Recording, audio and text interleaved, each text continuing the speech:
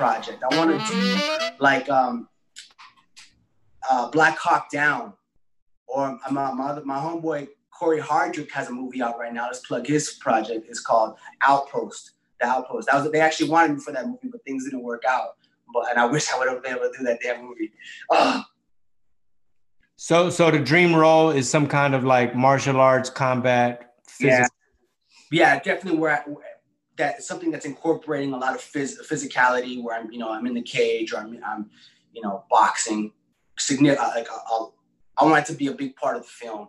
Um, and then also a gritty action film where I gotta go, or a military film where they want us to go be and be legit and, and go train and, and um, really get in the nitty gritty, so to speak.